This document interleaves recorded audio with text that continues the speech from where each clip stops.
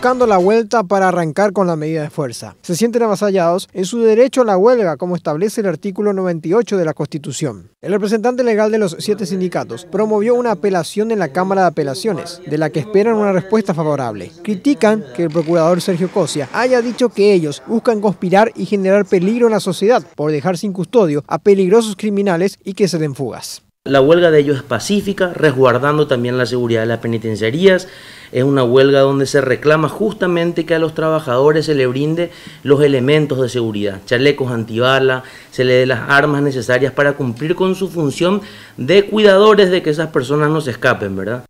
Incluso hablan que van a comprender la intención que tiene el gobierno de colocar reemplazantes que según ellos estaba en los planes de las autoridades. Denuncian que por cada 150 reos en Tacumbú hay un solo guardiacárcel y que no tienen seguro médico.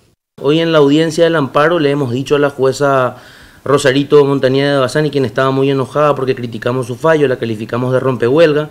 Le hemos dicho al asesor de la Procuraduría, le hemos manifestado al asesor del ministro de Justicia que no tenemos ningún drama en que ellos eh, contraten trabajadores sustitutos, lo cual está prohibido en una huelga, ¿verdad? A fin de que se garantice la seguridad del penal, pero que no cercenen el derecho a la huelga de los trabajadores. Pese a este choque jurídico, los manifestantes están abiertos a un nuevo llamado tripartita para destrabar la amenaza de huelga de 1.600 agentes.